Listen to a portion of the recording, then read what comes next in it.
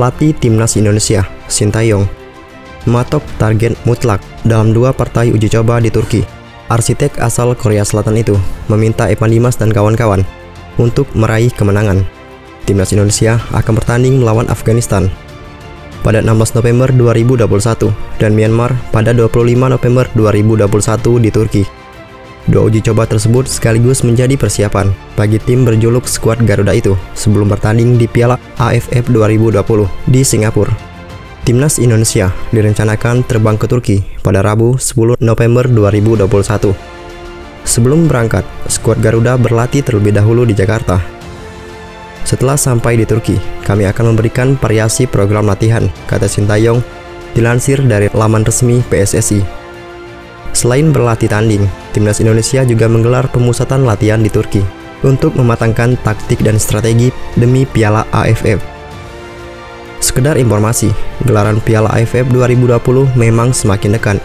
Ajang yang mempertemukan tim-tim Asia Tenggara itu akan berlangsung pada 5 Desember 2021 hingga 1 Januari 2022. Timnas Indonesia sendiri tergabung dalam grup B bersama dengan Kamboja, Laos, Vietnam, dan Malaysia Pasukan skuad Garuda itu akan memulai langkahnya di fase grup Piala AFF 2020 pada 9 Desember melawan Kamboja. Kami ingin meraih kemenangan ketika menghadapi Afghanistan dan Myanmar. Pemusatan latihan dan uji coba di Turki sebagai persiapan untuk berkiprah di Piala AFF 2020, jelas Sintayong. Ada 26 nama yang dipanggil untuk pemusatan latihan dan uji coba Timnas Indonesia di Turki. Sintayong memastikan posisi Papa Mario Yagalo yang cedera digantikan oleh Marco Sandi Merauji sebagai persiapan sekaligus menggelar TC di Turki. Pelatih timnas Indonesia Sintayong selaku arsitek sudah menentukan 26 penggawa yang akan memperkuat skuad Garuda. Timnas Indonesia menggelar latihan perdana untuk persiapan Piala AFF 2020 di lapangan ABC, Jakarta Pusat.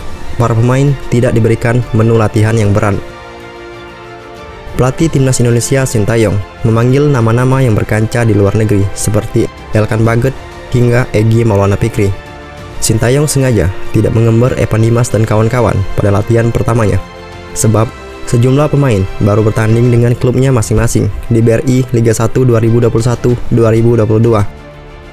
Kami menjalani latihan perdana dengan menu pemulihan kondisi karena banyak pemain yang baru bermain pada akhir pekan lalu. Tutur Sintayong dilansir dari laman resmi PSSI. Selama di Jakarta, kami berlatih dengan intensitas sedang, jelas arsitek berpaspor Korea Selatan tersebut.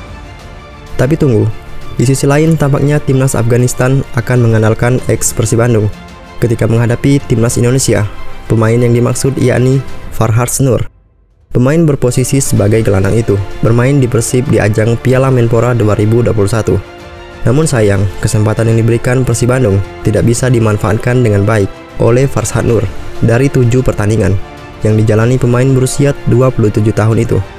Tidak mampu berkontribusi untuk tim hingga akhirnya Persib Bandung mendepak sang pemain.